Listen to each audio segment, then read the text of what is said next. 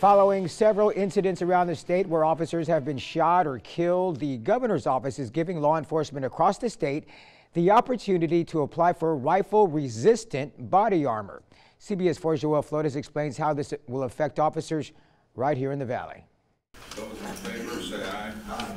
Aye. Motion carries. Cities and counties across Texas have started submitting grant applications for rifle resistant body armor to better protect their law enforcement officers. Basically, this is something additional that can go over your body armor.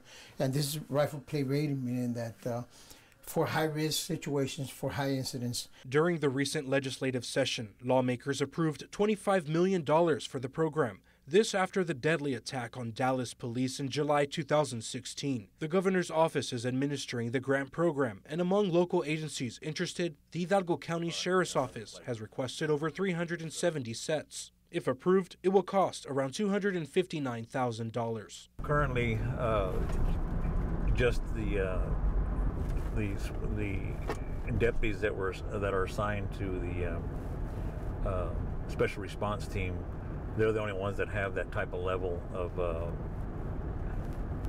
uh, protection. Uh, of course, with this grant now, it would it would uh, apply to all my deputies. This rifle-resistant ballistic body armor will help protect all law enforcement right here in the valley during high-risk incidents, such as active shooter situations. Since we are on the on the border and we um, you know we have uh, a lot of uh, cartel activity happening across the border in situations where where we have that that uh, the chance where that activity will will uh, come across. San Juan Police Chief Juan Gonzalez says his SWAT team is being called out at least twice a month to assist local, state, and federal agencies execute high risk warrants, and says 90% of the time suspects are found to be in possession of high powered rifles. His department has also submitted their application for 50 sets at a cost of around $36,000. This is for those situations in which our officers need additional protection, especially working so close to the border.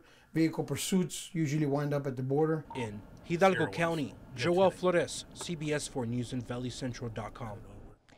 Mission, Palmview, and Sullivan City Police, as well as Hidalgo County Constables, precincts 1 and 3, have also applied for that grant.